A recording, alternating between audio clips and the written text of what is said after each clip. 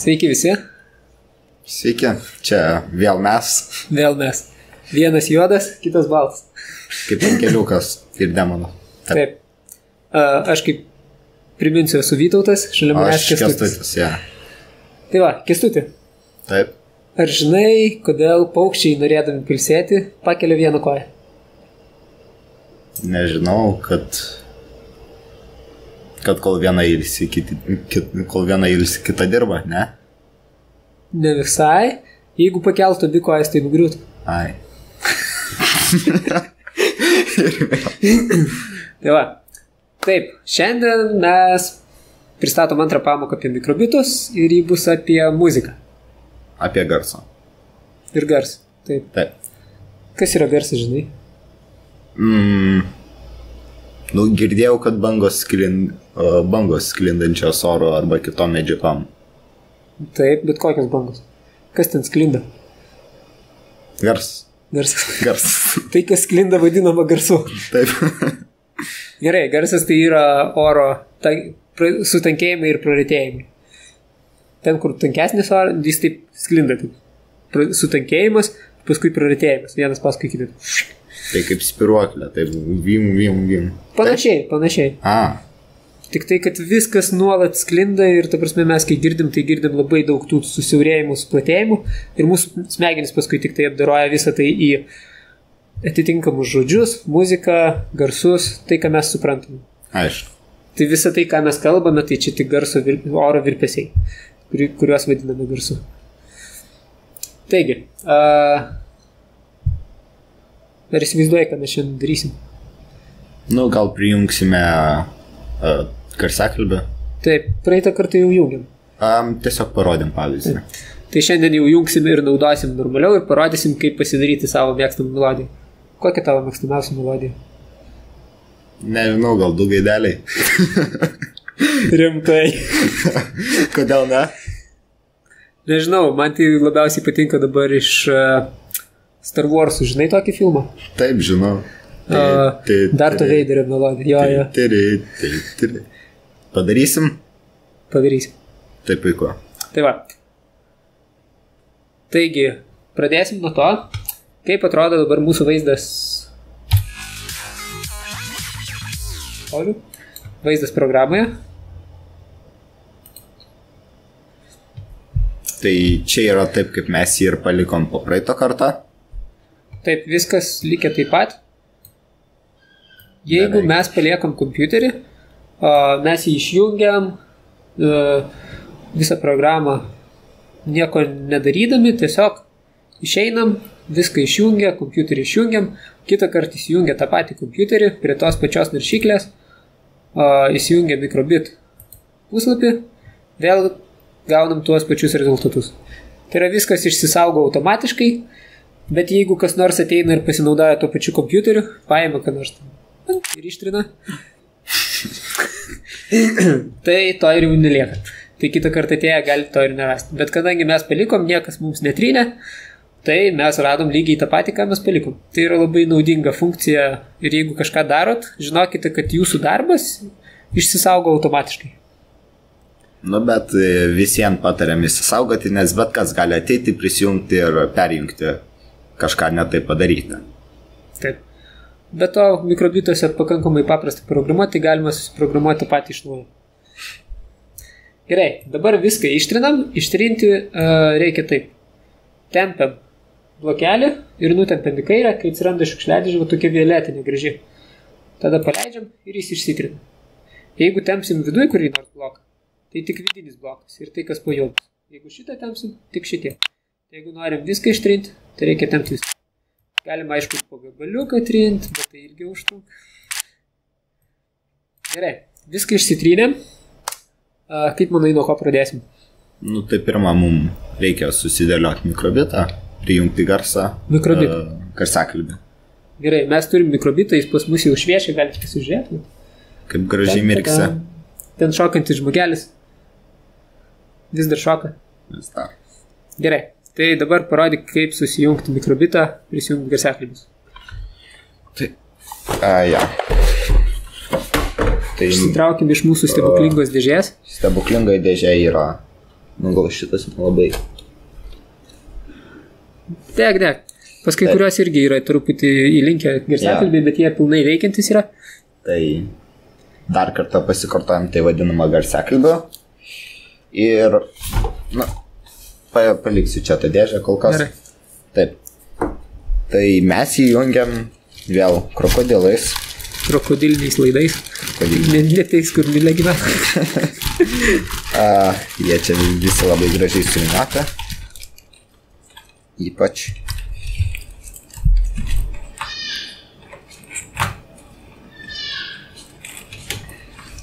Taip, kad būtų paprasčiau, tai pliusą, jų, uh, raudoną jungsime prie pliuso.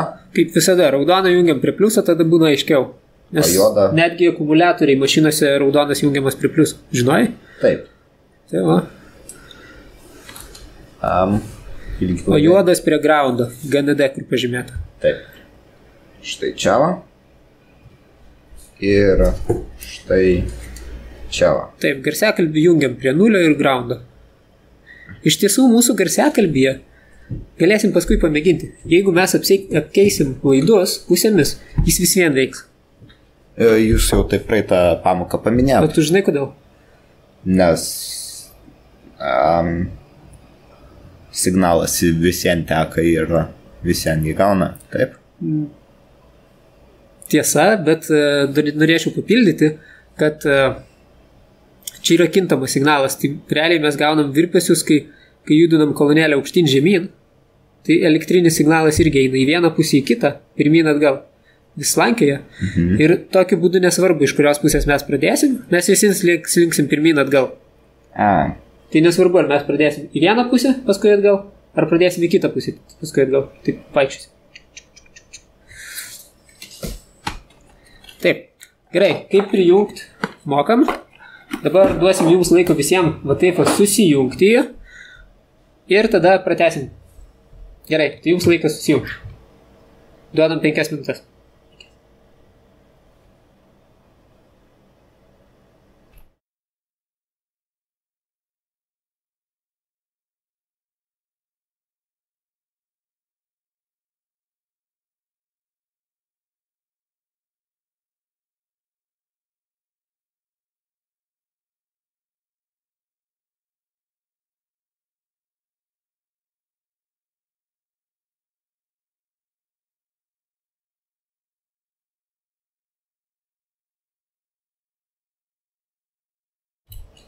Taigi, grįžtam. A, tie, kas nespėjote, tiesiog susistabdykite video ir prateskite video tada, kai jau spėjote viską susijungti. Ir kaip paskui darysime pertraukėlės, pasakysiu, kiek maždaug minučių pertraukėlę ir jūs tiesiog sustabdykite video, pasistengkite per tą laiką viską spėti padaryti, o tada prateskite. Jo, tęsime. A, mūsų mikrobitas sujungtas. Programoje tuščia. Nu, tai ją vadinasi, reikia rašyti programą. Rašom programą. Žinai, kaip rašyti? Nu, tai visada reikia pradėti nuo pradžios, uh, basic. Pradžia, Ir, a, pagrindas, On start. on start. Aš žinok labiau mėgstu, kai būna ne on start, o su mygtukais. Nes tada tu pats paleidi muziką. Nu, tada reikia dėti su mygtuku. Įsidedam mygtuką. Inputą. Galima pasikeisti, jeigu labiau mėgstat. B. Kaip, kaip jums patinka? Aš padarysiu su B šį kartą. Ir ką toliau darom? Nu, jau laikot pelę ant uh, Jo, jau rodom čia failo. vat mu- music. Taip. Pasidarom music. Taip. Po to jau jums duosim laiko visą tai pasidaryti pas save kompiuteryje. Jeigu reikės, pakartokit šitą dalį ir pasidarykit. Taip. Uh, ir ką iš čia dedam? Nu, oi. Čia va parašyta paleisti toną vidurinis C vieną kartą. Vieną bitą. Bit. Bitas tai yra toks laiko vienetas. Muzik, mm. Muzika naudojamas. Gal tu esi lankęs muzikinę? Ne. Aš irgi ne, tai. Ne. Gerai. Uh, gerai. Įsidėjom. Kas dabar vyktų? Nu, pagrotų kažkokią. Kažkokią. Tai va čia galim paspausti ir pasirinkti kokį. Pažįsti natas? A, pieninas. Pieninas. kol kas pasirenka bet kurią. Oi, kaip garsiai. E, Tame ekrane. tuoj patildysiu garsą. Bet aš nežinau, kaip tai jiems veiks. Taip, tikiuosi sumažėjo garsas, pabandom dar kartą. Gerai. Nes pirmas buvo garsiai. Tikiu. Gerai. Taip. Pasirinkom, kurią natą, ku- ku- kurią pas palikom, tai ir bus. Aišku, galim čia. Bet mes norim žvaigždžių karų muzikelės. Nu gerai. Jeigu norit konkrečios muzikėlės, beje, mes įsikeliam dar tik vieną natą. Na, Tai čia ne muzikėlė. A, reikia mums įsikelti daugiau. Kaip matot, po vieną natą įkelnėti gana ilgai užtrunka. Dėl to galite pasidaryti, pavyzdžiui, tokį dalyką. Oi, nudubliavau vieną. Matot, vieną nudubliavau. Aš naudoju tokį triuką, įsidedu viską į repeat ir tada nusikopijuoju visą šitą. Tada nusikopijuoja visas, visas vidus. Ir tada vidų išsikeliu galima dėti. Protingai. Taip. Tai iš karto gavom daug daugiau datų. Ir jeigu norėsim kartoti melodiją, tai kelis kartus galėsim pakartoti. Taip, dabar prie kiekvienos natos yra ne tik bet ir jos trukmė. Tai jį matuojama bitais, e, mes tiesą dar bitus galėsim keitalioti, kokios trukmės vienas bitas. Ir ar žinai, ką čia reiškia va tie skaičiukai? Nu, tai gal kaip būna natose ten... Ketvirtinė tokia girdėta, ne? Taip. Aštuntinė, šešioliktinė. Kažkur tai giliai, giliai. Taip. Atmintyje. Tai va, tai jeigu yra ketvirtinė nata, tai viena ketvirtoji bitų. Mhm. Ketvirtinė. Jeigu yra pusinė, tai viena antroji, aštuntinė, viena aštuntoji ir taip toliau. Taip, dabar melodiją reikia atsisiųsti. Mes pasieškosim melodijos, tai ieškom kitame lange, vat pas mane labai patogiai, kad čia vat atsidaro kitas langas, jeigu jūs kitą naršyklę naudojat, gali būti pas jūs kitaip, tai paprašykit suaugusiųjų, kad padėtų ir tada įsivedam savo melodijos pavadinimą. Ar žinai, kaip mano melodija vadinasi? Nu, Star Wars theme song bus. Aš žinau konkrečiai. Tai yra Imperial March. Ai. Dar pi piano reikia įsivesti, manau. Aš rašau notes. Tai yra melodija, natos, Taip. bet tuo pačiu notes yra ir užrašai. Tai kai kurias melodijas ieškant gali būti painu, bet paprašykit saugusių, kad padėtų jums susirasti jūsų mėgstamų melodijų natas. O, ir pasižiūrim vaizdus. Va. Kuri čia tokia paprastesnė, nes aš muzikos mokykloje nesimokiau, tai Ai, nu, jo. Star Wars. Dėl muzikos. Man šita atrodo paprasta. Gerai.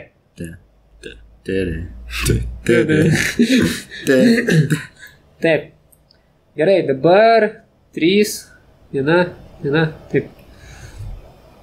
A, Aha, kokia čia nata? Vai, netai paspaudžiau. Netai paspaudžiau, atsiprašau. Kokia čia nata? gal lengviau bus ieškoti piano. Sol. Gerai, čia yra sol.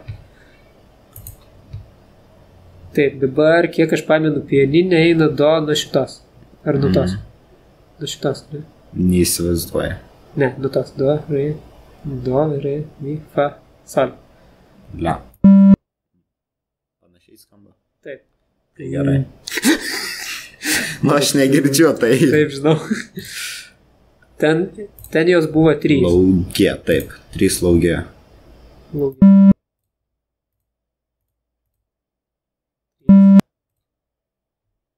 eina. Žema ir aukšta. Taip. Greitai dviem pereina. žemesnė. Dviem žemesnė. Taip. Sidedam dviem žemesnė buvo šita. Viens, du žemesnė. Um, čia tik tai viena ketvirta byto. Šitą yra. Aišku, jo, po to reikės visas viską. vienetais. Taip, o po to Nors jos yra, žiūrėsim. jos yra ketvirtinės. Darom ketvirtinės visas. Teisingai darom taip, kaip nurodyta. O tą greitą perėjimą, kaip mes čia padarysim. Nes Šitą? yra ten, ten, ten, ten, ten. Va, su greitais perėjimais ir kitokiais dalykais gali kilti keblumų. Uh, nes Tai gal tiesiog iš pradžių padarom paprastai viską. Ta, tom pačiom. Taip. Tai aš kol kas da- darau paprastai, kad visiems būtų suprantama ir aišku. Uh, tie, kas mokosi muzikiniai mokykloje, žino natas gerai, žino va tuos visus ženklus. Tai čia jums bus yra- lengva. Jo, tai jums bus dar lengviau, jūs galite dar, dar fainesnės melodijas padaryti. tai gerai, dabar eina Kurinata, dar dvi aukštesnė. Ir žemesnė, nežinau. Am, pala, parodykit. Man rodos vėl sol. Ja, Tada vėl. Laukie. Tik tai dabar ji bus dvigubai trumpesnė. Ne, šita jau dvigubai trumpesnė, tada dar dvigubai trumpesnė. Tik tas taškas, kiek pamenu, kažką irgi reiškia. Kažką. Man atrodo, kad dar pusė nutos. Man rodo, šia gravitacinis skaičius. Su tom natom. Gerai, aš tiksliai nežinau, pabandom taip. Kaip išeis tai bus. Taip, Kol kas. Čia bus aštuntinė. Tai čia bus irgi aštuntinė, kad uh, Tai palaukit. bendras O, skaičius maždaug stop. o gal va išbandom dabar va. Paspaudžiam simulacijai.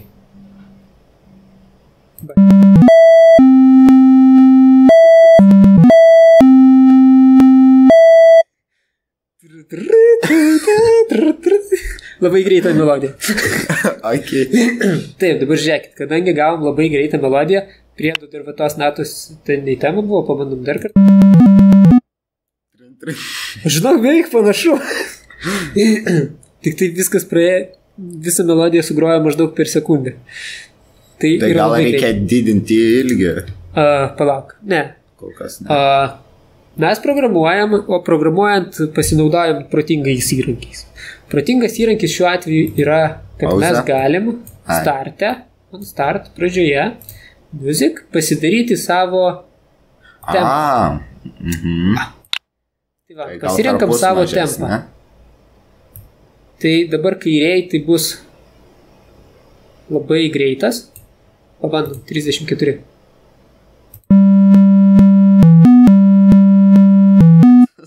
Lietas, palauk. Sakau Atvirkščiai 60. palauk, Atsiprašau. Tuoj pa- patikrinu čia. Teisingai. Čia, čia yra lietas. Kuo mažesnis, tuo lėčiau viskas vyks. Tai 60. Ne, 30. Juk 30 neprilėtas. Kas? A. Gerai, 40. Smart. Tai pabandom.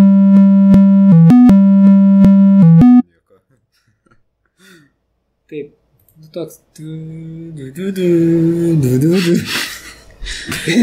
Dėl to repito. Taip, tai reikia iki galo parašyti. Parašom bent vieną eilutę, parodom, kaip, kaip tai viskas veikia, o tada vaikai galės daryti savo didelės melodijas. Taip. Gerai?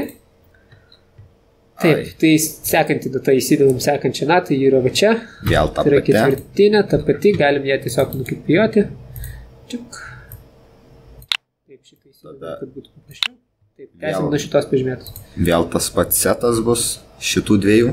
Taip, tai galim ir jį nukopijuoti. Setas šitų dviejų, ne? Taip. Duplicate. Duplicate. Įsidėjom setą. Taip. Taip, dabar čia mūsų senas spalva. Žiūrim. Ir, Ir tada. dabar tokia. Man rodo šita gal užtamta ta ar kaip į ten. Tai ilgesnė bus. Nepamenu. Taip, jinai bus jau nebe ketvirtinė, Pusinė. pusinė, regis pusinė. Taip. Tai gal paklausyk, nežinau. Palauk, dar, dar, dar nustatom teisingai ilgius. Čia Mhm. aštuntinė. Ai, aštuntinė. Gerai, paklausau.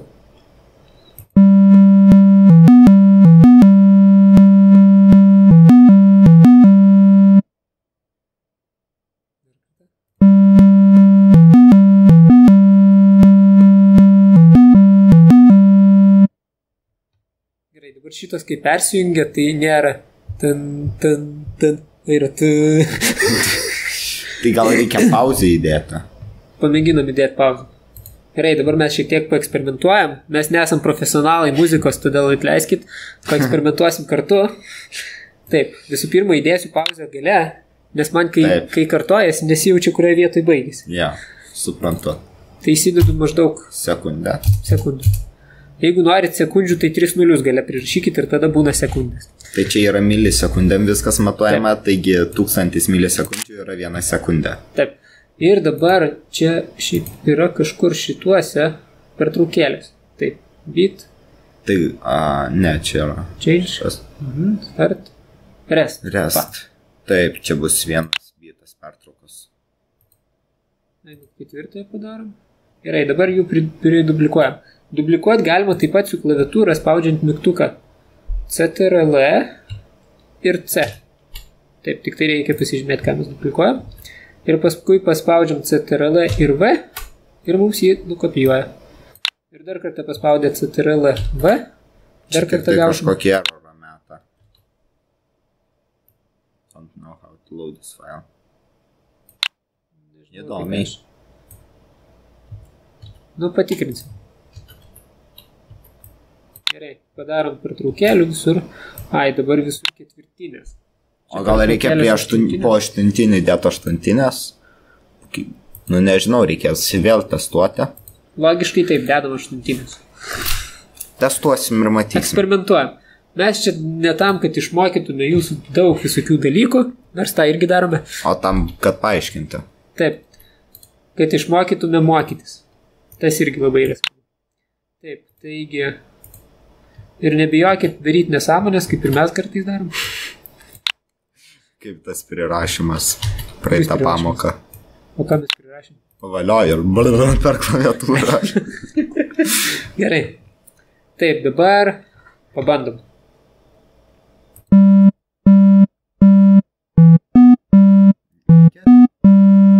nice.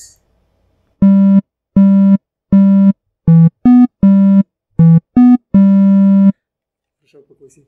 O. Pasiruošęs?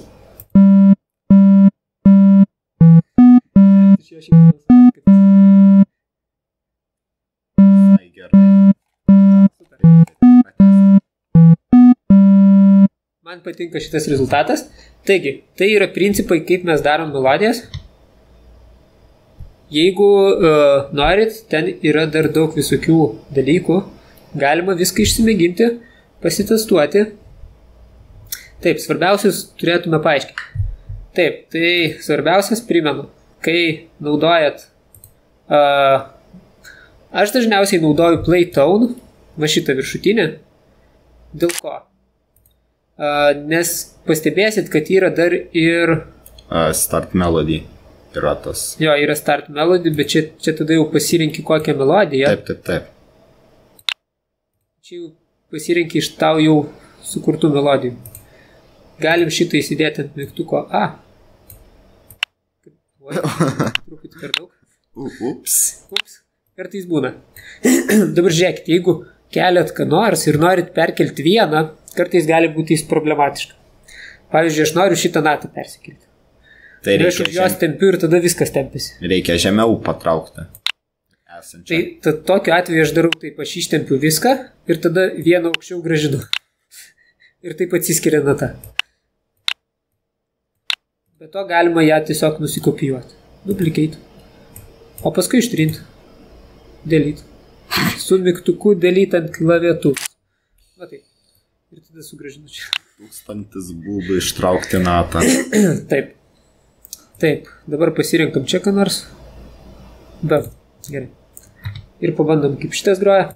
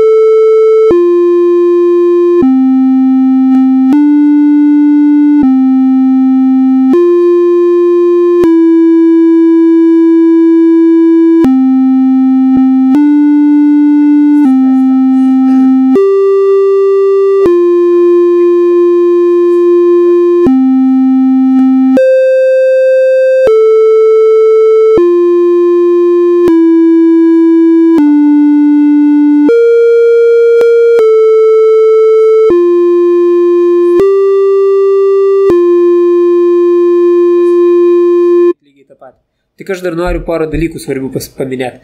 Taigi, naudojant va šitą vat play tone, tai reiškia groti natą, pasirenkat natą, kurią norit groti ir pasirenkat jos trukmę. Ketvirtinė tai yra kaip nata, viena ketvirtoji ketvirtinė, viena aštuntoji tai reiškia aštuntinė nata ir taip toliau. O bendrai visą kiekvienos natos greitį galima valdyti su set tempo. Tai reiškia galima keisti greitį. Tai vadinasi tą pačią na- natą biškilgiau, taip? Taip, pavyzdžiui, jeigu aš pa- padarysiu čia šimtą, tai nepailgės mano viena nata, o pailgės mano visos natos. Taip. Dabar jos 2,5 kartų ilgesnis negu buvo prieš tai. E, trumpesnis, atsiprašau, jos greičiau gros. O. Paklausyk šitą.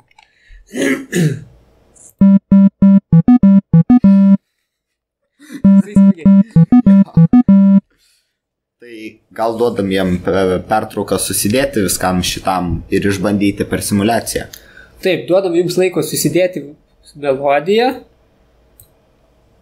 natas, tiesiog susidėliokit natų tiek, kiek jums reikia, pasidarykit tar, tarpelius, galite tarpelius trumpesnius daryti, jeigu aš viską pakeisiu taip, man atrodo dar geriau skambės, paskui įsikelį išmėginsim, aštuntinę šešilikinę pasidarysiu. Matot, ten, kur yra viena, viena aštuntoji, pasidarau viena šešioliktoji, ten, kur yra viena ketvirtoji, pasidarau tarpą viena aštuntoji. Taip. Ir pasižiūrim, kas tada. Kur Man antroji, bus blogai.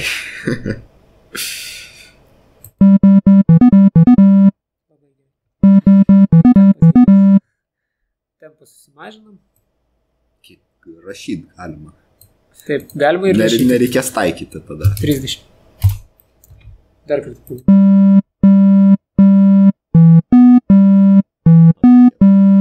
Dabar labai geras.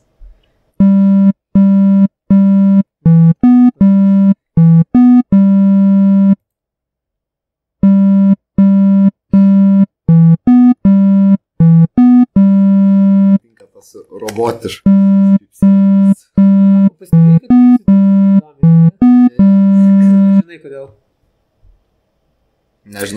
taip pat. Ant mikrobito lygiai taip pat sės. Čia Mhm. taip vadinamos monofoninės melodijos. Žinai, ką reiškia monofoninės arba polifoninės, kuo jos skiriasi? Ne. Tai yra skirtingos melodijos ir kompiuteriniai garsai, ypač pradžioje, kai kompiuteriai atsirado, tai buvo tik monofoniniai. Ar, ar žaidai, kad nors, pavyzdžiui, Old school game kažkokį, jo, žaidžiau. Super Mario. Nu, žaidžiau. Atsimeni, kokias ten Taip, muzikėlės? taip, taip. Tai primena. Pip, pip, pip, pip, pip. Prink, prink, pip, pip, pip. Taip, tai, tai todėl, kad ten buvo naudojama monofoninė muzika. Žinai, ten visi garsai, jie yra daug paprastesni. Tai yra dažniausiai sinusoidinės bangas naudoja, tiesiog vieno dažnio kažkurį laiką. Kai mes kalbame ir dainininkai dainuoja, instrumentai skamba, garsai yra daug sudėtingesni. Mhm. Ten yra daug daugiau potonių, pustonių, ten ir... Prasme, Aišku. Va, aš galiu labai greit nupaišyti, paaiškinti, kas tai yra popieriaus lapo.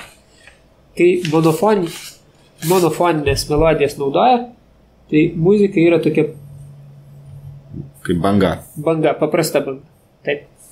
O kai naudoja sudėtingas melodijas, tai tos bangos pasidaro labai sudėtingos, su bangelėmis ant viršaus ir dar visokiais.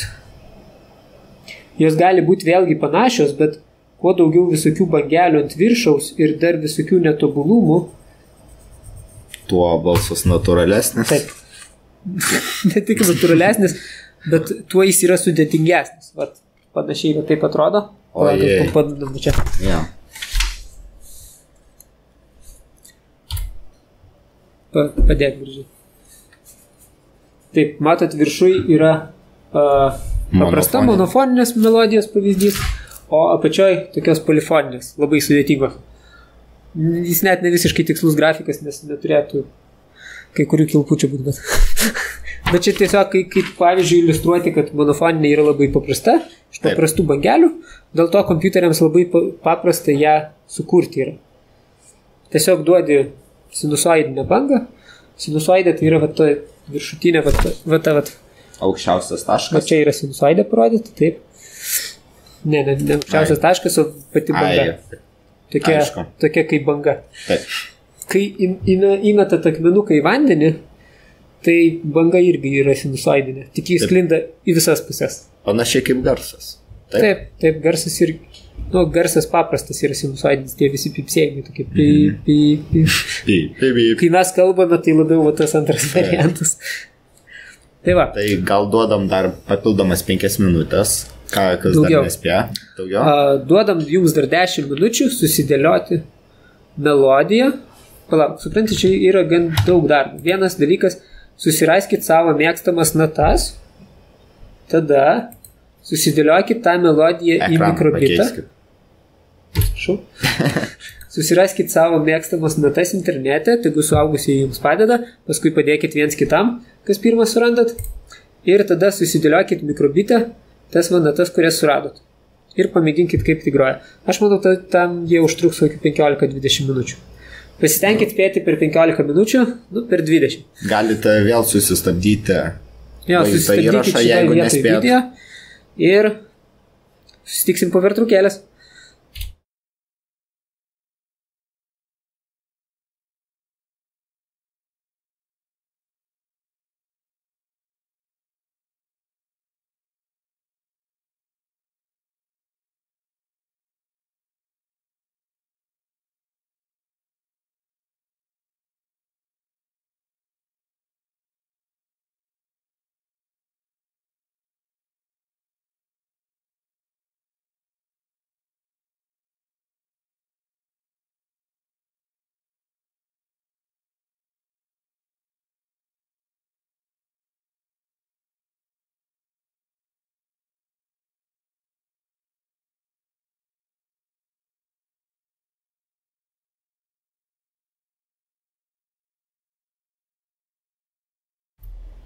Taip, sveiki sugrįžę.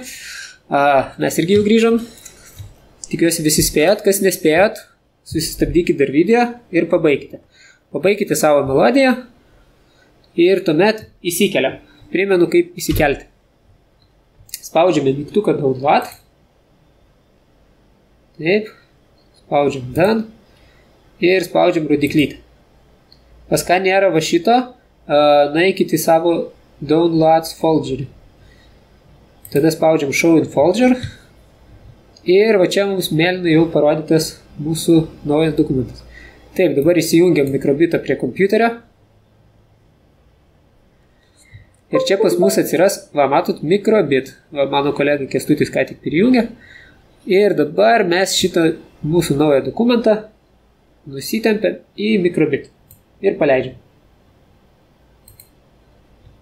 Ir dabar mums siunčia. Siunčia, siunčia, siunčia.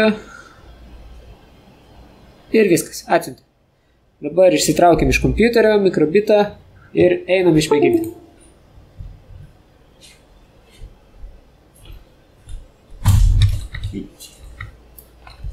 Sveikas sugrįžęs. Oi. Sveiki. Oi. Taip. Taip, šitą išjungiam ir dabar įsidedam mikrobitą. Am, Pas mus šie biški laidai buvo ištrukti, tai Sujungiam atgal. taip.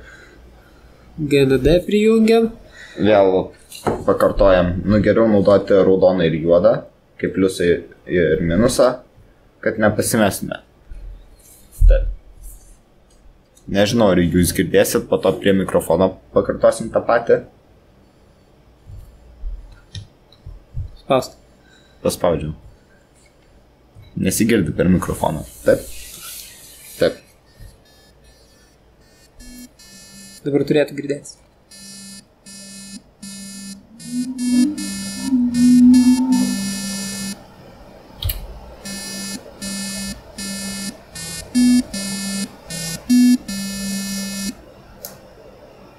Gerai, manau girdėjosi. Parašykit komentaruose, jeigu nesigirdėjo, siūskit mums laiškus su klausimais ir...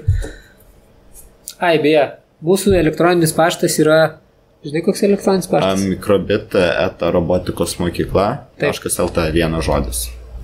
Aš gal parašysiu, kad galėtumėt atsidaryti, paskui per kitą pertraukėlę. Taip. Taigi įsikėlėm muziką, jį groja, viskas veikia. Viskas gerai. Taip. Taip. Pasiaiškinom, kuo skiriasi monofoninė nuo polifoninės. Mūsų mikrobitas gali groti tik monofoninę, turėkite tai omenyje. Kol kas. Taip. Reikia tikėtis, kad padarys ir polifoninį. Iš esmės, e, prie mikrobito galima prisijungti išorinį, e, išorinę laikmeną, duomenų saugojimui. Mhm. Ir dar galima prisijungti uh, garsiakalbį. Kad iš ten informaciją imtų. Iš Taip, atmintuko. Aišku. Ir galima tam tikrais būdais išsaugoti analoginį signalą. Neskaitmenizuotą, o tiesiog garsą tokį, koks jis yra. A, taip, tai sudėtinga paaiškinti, ką, Jo. ką ten galima išsaugoti, bet Nu, tam bet tikrais kol- būdais galima į mikrobitą įrašyti ir polifoninį garsą. Gal jeigu labai įdomu, tai tam pasidomėkite, pa, pasidomėkite, tikrai kažkur rasite. Jeigu labai įdomu. Taip. Jeigu norit, kad mes kažkur labiau pasidomėtume ir jums informacijos daugiau pateiktume tam tikromis rytimis, šitą lygiai taip pat galite rašyti į mūsų elektroninių paštų. Tai Ir jūs parašykit kažkur. taip, aš parašysiu čia. A,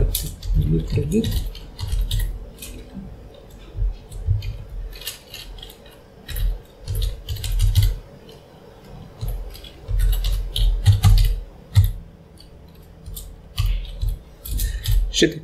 Taip.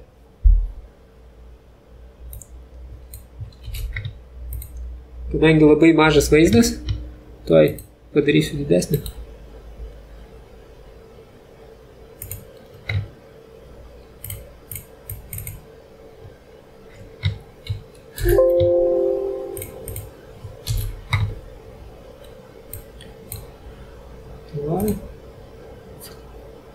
Taip.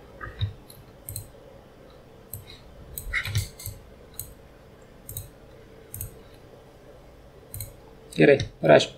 Va toks vienas pilna žodis. Va. Mikrobit eta robotikos mokykla. Taškas lt. Gal aš sumažinsiu truputį? Ne, reikia taip padinti. Tiesiog vienas žodis ir viskas. Taip, vienas žodis. Paverskite lapą horizontaliai. Layout, man rodos, bus. Nemoku vardų nauda. Gėda. Ne. Gerai. Nu, sumažinsiu šriftą. Bus aiškiau. Kad vienoje eilutėje. Taip. Mikrobit eta robotikos mokykla.lt. Taip. Čia mūsų elektroninis paštas, juo rašykite visus klausimus, atsiliepimus, skundus, e, ką dar gali rašyti. Anekdotus gerus rašykite, va. Ja, kurios norite išgirsti pradžio, pradžioje ir šiaip, bet kur. Ir viduryje, ir pabaigoje. Taip, Gerai. tai į lengvesnius klausimus atsakysime asmeniškai, nu, kurie ma- mažai kartų buvo užduoti, o į tokius, kurių daugumą uždavė, tai atsakysime per sekantį vaizdo įrašą. Taip. A, ar tau viskas aišku su garsu? Gal turi tu kažkokių klausimų? Galim iškart panagrinėti dar kažką. Hmm. Nu, šiaip daugiau mažiau aišku. Kas neaišku. Ne, aišku, kaip prisijungti. Visai mhm. paprasta. Programą tiesiog reikia ilgiau pasėdėti, ten mhm. pasidomėti. Įsikelimas, nu, irgi aiškus. Kiek čia jau kokius tris kartus su praeitų įrašu parodėm. Gerai. Nu, tai kaip ir viskas aišku. Gerai. Tai muziką pat sugebėtum padaryti. Taip. Puiku. Tai tikiuosi, kad ir jūs sugebėtumėt. Taip, tada toliau. Toliau bus praktiškai atskira pamoka. Mes gal net atskirsim du video, šito dar nežinau. Kaip, kaip bus, tai bus. Kaip bus, taip bus. Taip. Taip, bus šitas. Taip. Tai apie muziką. Dar prieš baigiant, pažiūrim dar kartą šitus. Va, šitus irgi galit naudot, bet šitie vat neturi savo trukmės. Čia irgi Čia yra natos. tiesiog nata. Cypia. cypia kažkurį laiką. A, Tik tai negali nustatyti kurį laiką. Taip, rest tai yra pertraukėlė, pauzelė. Kiek aš įsivaizduoju, veikia praktiškai taip pat kaip šita, Taip. tik tai, kad nusistato Pa, priklausomai pagal nuo... natų matavimą. Taip, tai reiškia, jeigu mes va šitą va, skaičių keičiam, tai mūsų tos oranžinės pauzelės keičiasi, o mėlynos ne. Mėlynos kaip buvo vieną sekundę, taip ir liko, nes ten sekundės, milisekundės. O oranžinių nustatai skirtingą tempą, Čia yra beats per minute. taip. Ir tuo pačiu padidėja ir Taip. tų pertraukėlių trukmė. Taip.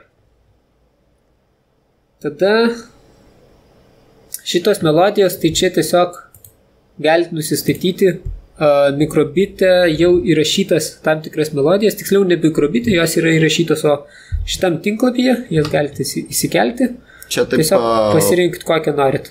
Ja, čia taip paprašiau, jeigu labai jau nenorite savo melodijos kurtis. Jo, jeigu nenorit kurtis, o norit tiesiog paklausyti, tai kažkuria galite tiesiog pasirinkti Ir ten yra nien. ir galite pasirinkti, kiek kartų kartos, gali vieną, gali visą laiką kartuoti. Turiu tokį klausimą. Ar ten Kokį? nien cat yra? Kas? Nien po ode. Ne, čia. Po ode. Yra nien. Na, nežinau, kas tai tokio. nien cat. Ne, ne, ne, ne, ne, ne, ne, ne. Nežinot? Jūs juokaujate. Ne, aš A, jūs nežinau. netą parinkot. Ai, gerai, tuoj pasiklausom. Buvo tik truk. Um, čia turbūt dėl šio. Susimažinom šiek tiek. Nu, pabandom.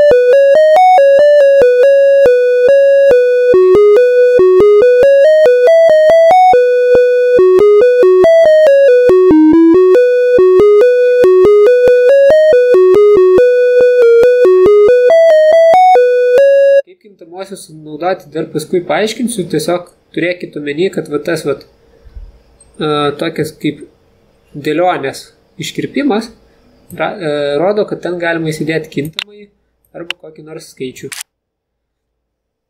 Aišku.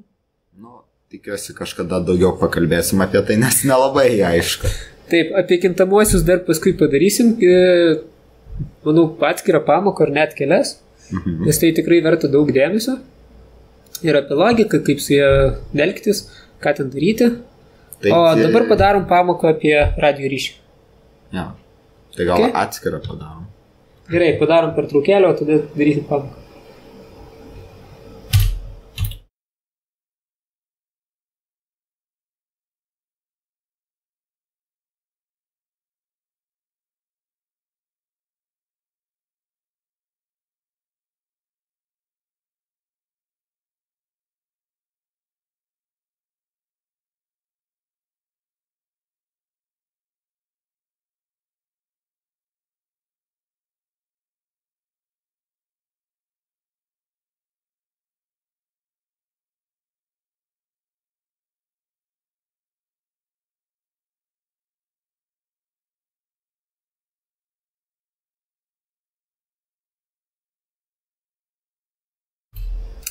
Taigi, tęsiam.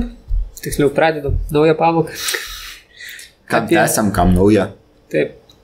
Nežinau, kaip bus. Arba tęsiam, arba darom naują. Taigi, dabar bus ne apie muziką. Šitą kol kas ištrinsiu. A, taip, rodau, ką čia darau. Taip, kol kas viską ištrinu. Tik pasilieku mygtuką B.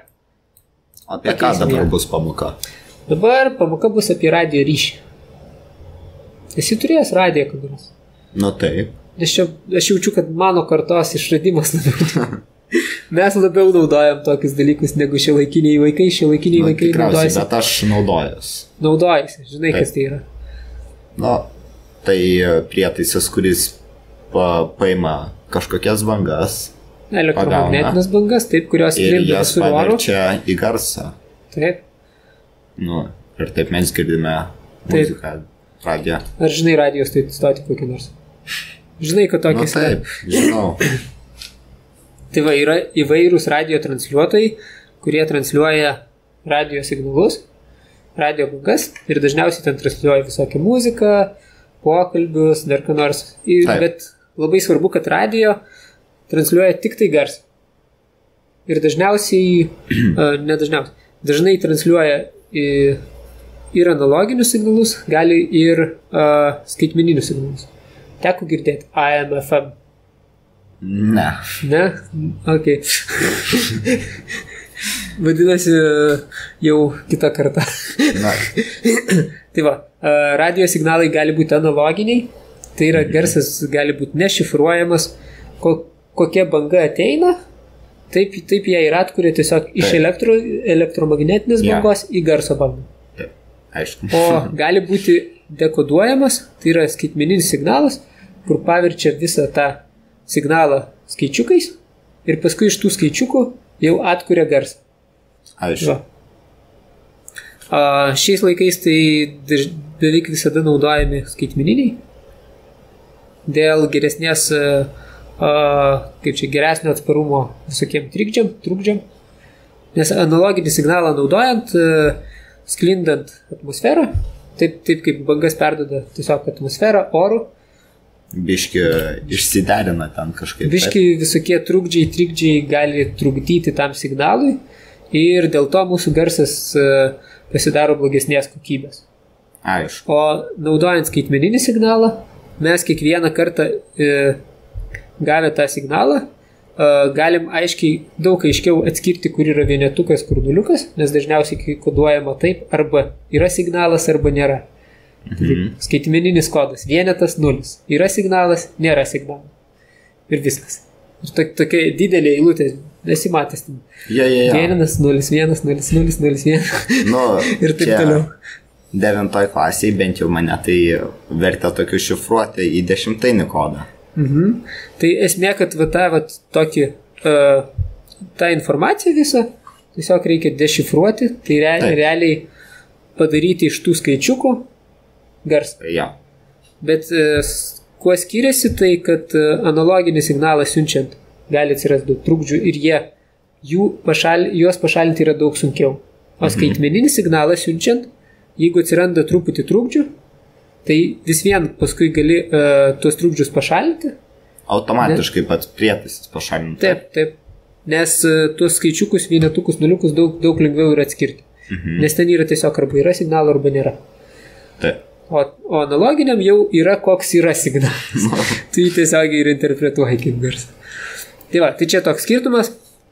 Taip, dabar a, kokį radio signalą siunčia mikrobitai, žinokit, aš tiksliai nepasakysiu.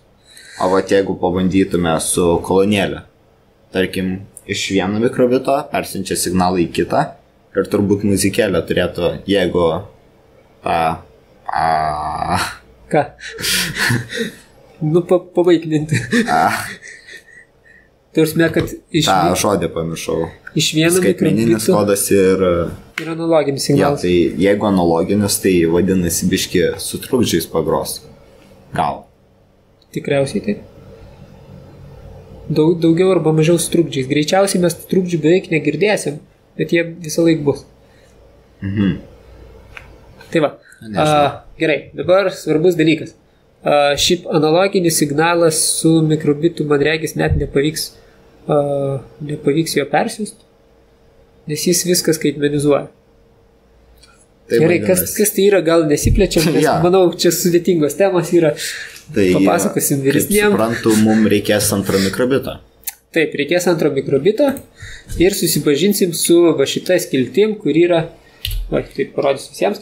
Va šitą skiltim, kur yra radio. Taip, ištraukiam antrą mikrobitą.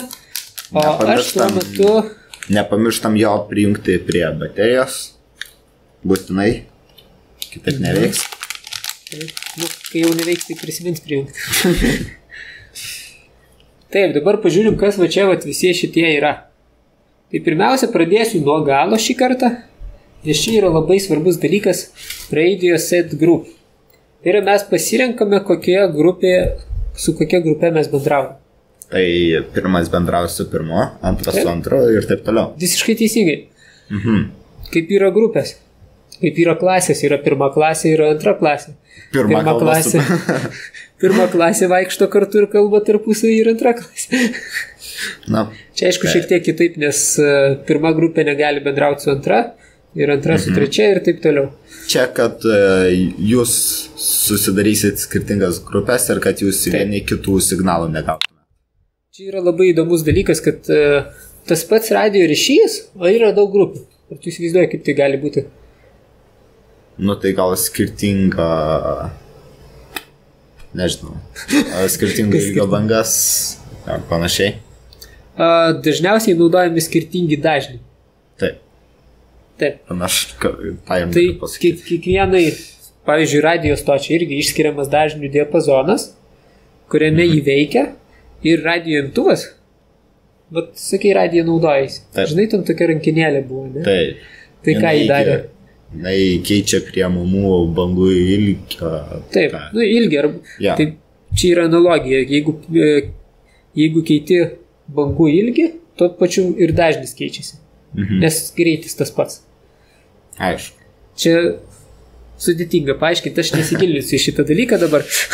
Nu, visiems kažkada išmokti. Jeigu labai norėsit, galėsim padaryti atskirą pamoką apie bangas, kaip jos ten sklinda ir taip toliau. Jo, rašykit į paštą, mes tikriausiai padarysim. Va, paštas yra va čia, ekrane. Primenu, kam reikia, užsirašykite, klausimus siūskite drąsiai. Mes nebijom, jeigu gausim ir tūkstantį laiškų, stengsimės kuo greičiau perskaityti ir viską atsakyti. Taip. Tai va, gerai.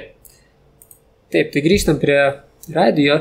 Tai esmė, kad kiek- kiekviena e, radio stotis turi savo dažnį, mhm. jame skleidžia bangas ir nors bangos tarpusavyje kaip ir susidėlioja, bet paskui mūsų radio imtuvas jas vėl atšifruoja Na, aišku. ir išskiria tik tai, ko mums reikia. tą siaurą diapazoną. Tai lygiai taip pat ir mikrobitą mes pasirenkam e, savo grupę ir jis žinos tada, ko, ko, kokias bangas jau siūsti ir kokias priimti. Imti, Taip. Taigi, pasirinkom pirmą grupę. Pasirinkom kokį kitą. Sakyk savo mėgstamą skaičių. Septyni. Nepasikeitė nuo praeito karto. Gerai, būsim septinta grupė. Jūs kiekvienas klasėje galite pasirinkti savo skirtingas grupės, galite su draugais, pavyzdžiui, pasirinkti vieną grupę, o kiti pasirinks kitą. Ir jūs tada siūsit kiti, vieni kitiems signalus savo grupėje, o kiti jų negaus. Ir niekas nežinos, ką jūs ten darot. Taip, tai va. uh, tik š, per šią pamoką, manau, dar nespėsim paimti tiek, kad sugebėtume siūsti SMS arba panašaus lygio žinutės. Daugiau pasižiūrėsim, kaip tai veikia ir pasidarysim, kad tiesiog siūstų signalą ir, ir rodytų, kada jį gauna. Mhm. Taip. Tai va, nes uh, signalus siū, siūsti galima, va dabar grįžtam prie radio, galima siūsti skaičių, va, spaudžiu mygtuką ir nusiunčia numerį. Pavyzdžiui, O va dabar toks klausimas. Taip. Galvote. Kad uh, mums reikia rašyti į abu mikrobitus tą pačią programą. Ar į vieną užtektų įrašyti, kad būtų ta pati grupė? uh, užtenka, kad ta pati grupė. Aišku. Ir čia yra tas faina, kad mes gal, galim pasirinkti grupę mhm. ir tada jau pačią programą galim keisti. Bet jeigu turim tą pačią grupę, tai radio signalus galėsim siuntinėti viens kitam. Aišku. Tai va. Taip. Tai dabar uh, dar yra kit, kiti dalykai. Pavyzdžiui, Radio Sand Valley. Tai su šitu galima nusiųsti vertę. Tarsi ne, ne tik skaičių, bet galima nusiųsti, Ai, pavyzdžiui, po- tekstą. Petras 7. Petras arba Jonas 8. tai va. Tada dar yra send string. Šitas skirtas būtent tik tekstui. Mhm. Jeigu nori nusiųsti kažkokį tekstą, šiaip labas. Petrai. Labas Petrai. Gerai, labas Petrai. Kad tu kestutis, nu bet gerai Petrai. Labas Tai Petrai. čia šiaip. Taip, gerai. Taip. Bus signalas labas Petrai. Tada kitas, nu ką pa- padarom, kad kitas gautų. Tai kaip mes tai padarom? Tai va, čia va yra on radio received. Tai reiškia, kai gauni signalą tam tikrą, Mhm. tai yra, tiksliau, kai gauni signalą, tai tada, žiūrėk, čia va yra skirtingi, yra uh, received number, tai yra, kai gauni tiesiog kažkokį skaičių, Tai čia naudoji. tam pirmam. Taip, čia tam pirmam, kur Taip. send number, va šitam vat. Tada on received kažkokį kitą, kitą dalyką, čia jau įvairius dalykus galima siūsti. Čia jau sudė- sudėtingas šitas. Ir received string, kai, kai, gauni kažkokį tekstą. Gerai. Tai pasinaudojam kol kas šitais dviem. Am, Galima aš tai grįšiu. Žinoma, tavas.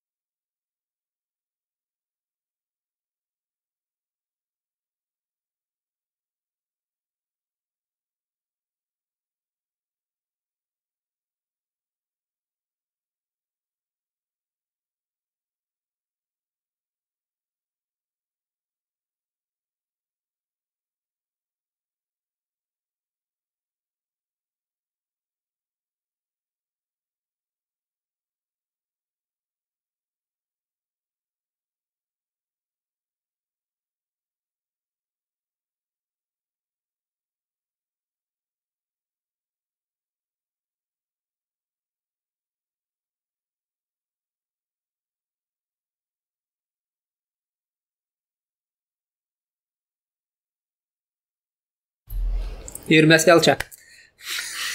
Ir vėl. Ir vėl. Taip. Kuo mes baigiam? Um, šitais, receive. jo. Taip. Ir dabar žiūrėk, šitas vat veikia lygiai taip pat kaip mygtukas. Tai Mhm. jam jo nereikia dėti į kažkokį papildomą blokelį, jį paliekam atskirai ir kai mums atsiūs kažkokį signalą, tai mes tada galim kažką padaryti. Parodyti ekranėlėje. Jisai. Mm, yra liuksas. Galima. O, set smiles. Gerai. Kodėl sėdu? Šiaip tau, kad linksmiau būtų. tai va, tai kai gausim signalą, parodys liūdną vaizdelį ir tada, matai čia parašyta received string. Show. Ne hello. Matot, va čia įsideda toksai, kaip jau minėjau, va tą va tokį, kur kaip dėlioniai skirtą kaladėlę, galima įsidėti visokius kintamuosius. Ir čia va prie Ir- variables, prie kintamųjų, matai, atsirado naujas. Mhm. Jis automatiškai sukūrė naują kintamąjį, kuris yra va šitas received string. Tai, kai jis priima tą signalą, kurį mes nusiunčiam va šitą va tekstą. Vai. Va, kol kas pažaidžiam tik su tekstu. Tavat, kur nusiunčiam tekstą, jis iš karto įrašo į va šitą received string. Mhm. Ir mes jį tada norim parodyti ekrane. Tai įsidedam received string. Ir dabar rodys tau labas Petrai. Dabar rodys labas Petrai. Jei. Bet žiūrėk, prikolas, jeigu aš padarysiu button B. Ir nusiusiu nulį. Ką jis rodys? Nieko. Manai? Taip. Pabandom. Aš nežinau, ką jis rodys. Palauk, dar prieš tai dar padarysiu trečią, kad matytume skirtumą. Taip, įsidėjau on shake, tai yra pakračius, ir tada pasidarom, kad uh, išsiųstų signalą ir čia išsiųstų iki jo. Tai čia tada rodys tą patį. Kur? Uh, nu, čia, va, jeigu paspausiu A, tai parodys set smilą ir tada... Labas, Petrai. Žiūrėk, spaudžiu A, rodo šitą ir rašo iki Jonai. Mhm. Tai Taip. spaudžiu B. Palauk, pirmą pažiūrėm, kaip baigsis. Spaudžiu B. Liūdnas vizelis ir nieko. Kaip ir sakė, jeigu nusinčiam nulį, Mhm. nieko. Taip. Jeigu nori, kad rodytų mūsų nulį, tai įsidedam taip, radio received. On radio received number. Tada čia. Tik dabar matai, čia yra skirtingi kintamieji. Matai? Atsirado Mhm. naujas per kintamasis received number. Galim. tą patį smilą. Na dabar smilą. Kai numerį gausim, tai laimingi bus. Arba, nežinau, kaukulį. Karvė. Va, matai, čia karvė yra. Nu kaip kam karvę. Ai. Nesigaus. Matai? O kodėl jis Šitas? papilkėjo? Papilkėjo. Taip. Nes mes jau turime on radio received. Tai galima tik tai vieną. Taip, kai Priim. mes su radiju nusinčiam, tai galim turėti tik vieną, kai gaunam signalą. Bet va čia, vat. A, Tai galima. Uh, uh, uh, uh.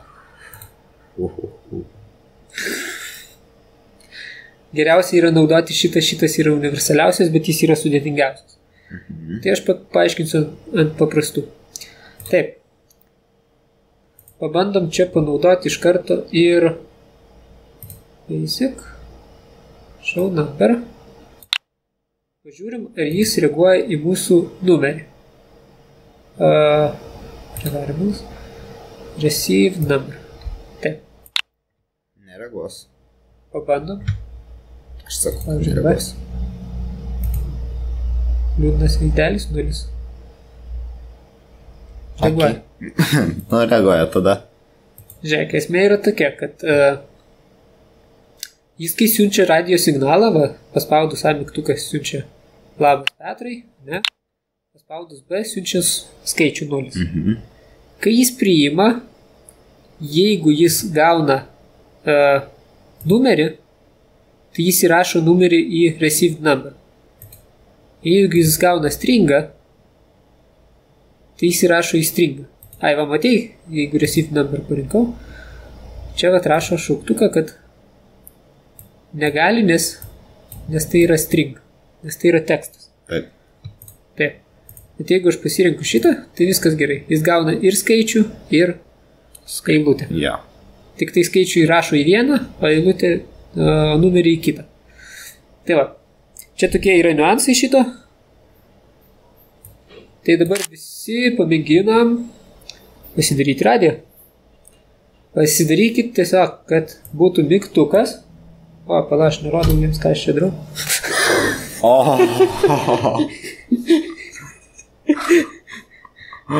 Gerai, dabar parodysiu, ką mes čia prikūrėm, ką mes čia pripasakojom. Ant to vat ekrano. Būna ir tokių feilų, nieko. Taigi, jūs irgi nebijokite klysti.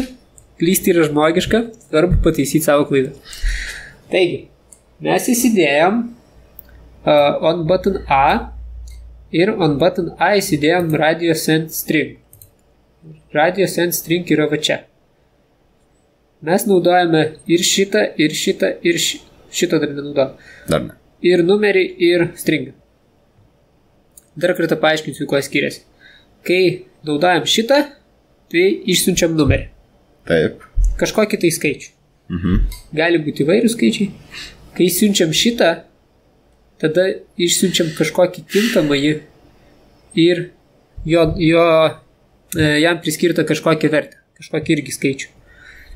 kuo jie skiriasi, kad šitą naudojant tu visą laiką gauni skaičių ir tu jį visą laiką tiesiog, uh, nu, vad kaip aš tau sakyčiau, 5, 5, 6, 6. 8. Ai. Ir tu supranti, ką nors, nu, tu gauni kažkokius skaičius, ar ne? Taip. O jeigu aš sakau, jeigu aš siunčiu va šitą, tai aš jau sakau, ką re- reiškia tas skaičius. Tai aš priskiriu A, kažkokį tai mhm. konkretų. Ir aš sakau, pavyzdžiui, penki metai, šeši tortai. Tu jau Aš- visai kitaip interpretuoji, tu jau žinai, apie ką mes kalbame. Tai va šitas radio, va šitas skirtas, kai mes turim tam tikrus skirtingus dalykus, atskirti juos. Jeigu reikia tiesiog kažkokio skaičiaus nusiųsti, tai gal naudojam šitą, jeigu reikia teksto, naudojam paskutinį. Gerai, dabar mes eksperimentuojam su radio string labas Petrai ir radio string iki Jonai. Mhm.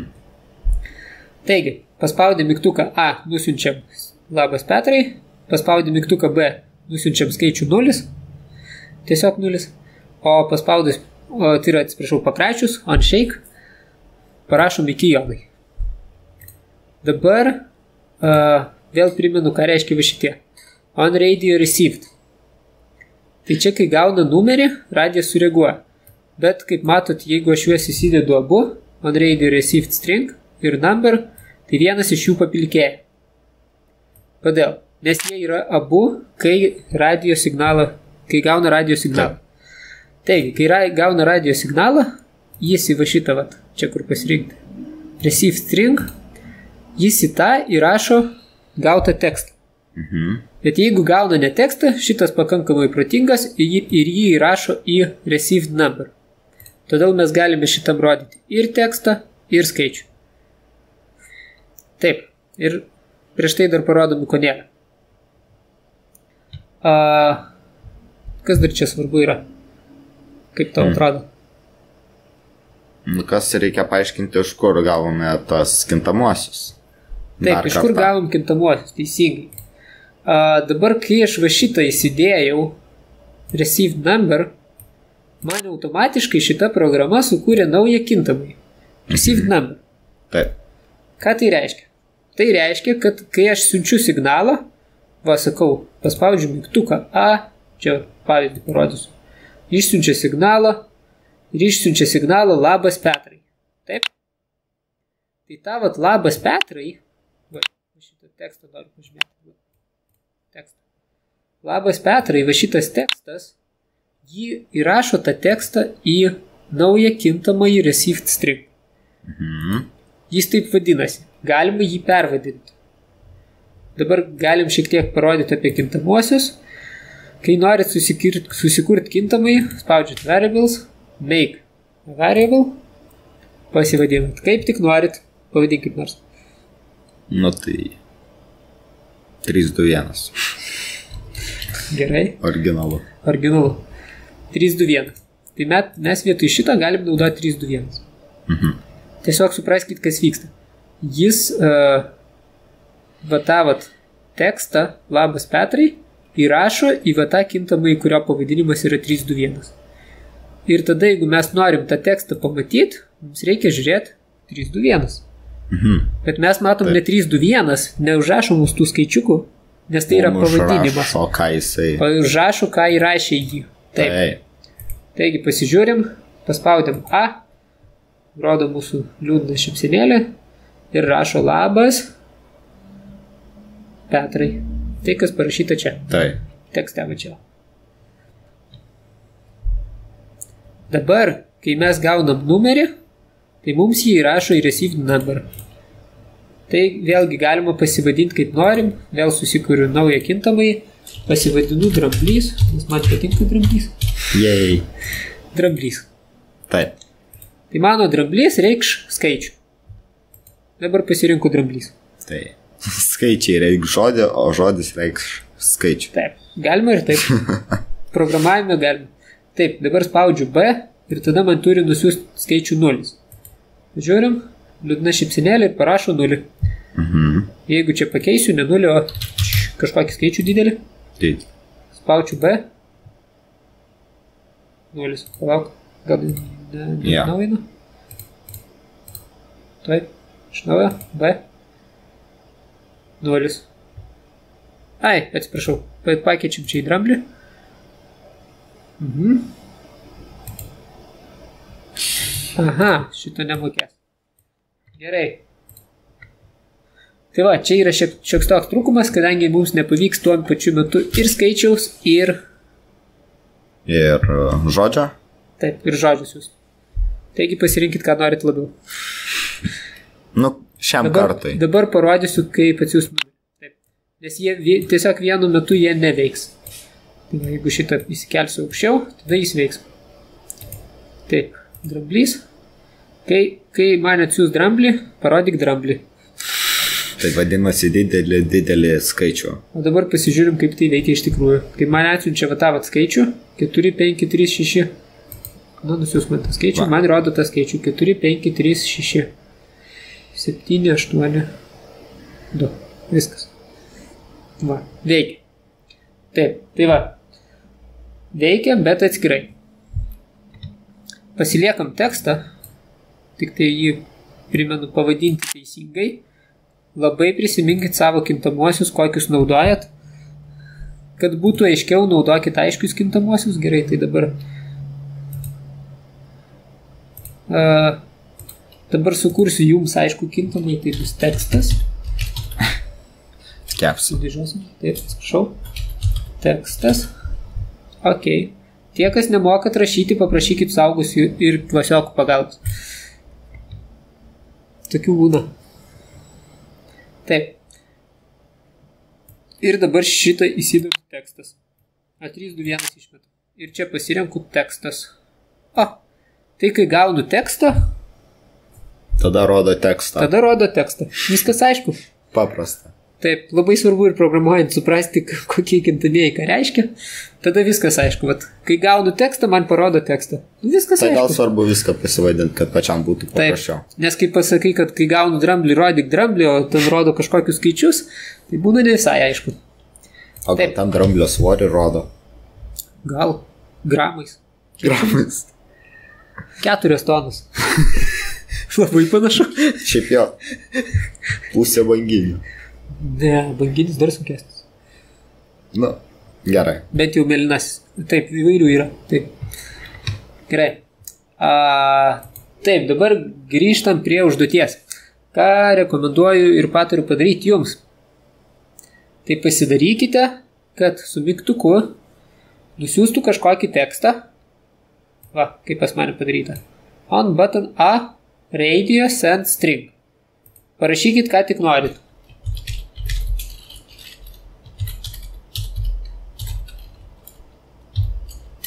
E.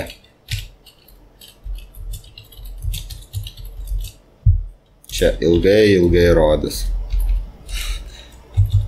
Vai, šau, klaustuko neduodu. Va,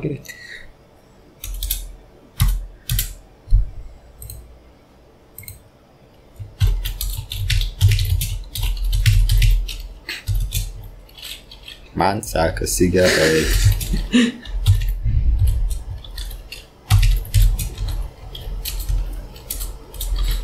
Getrai.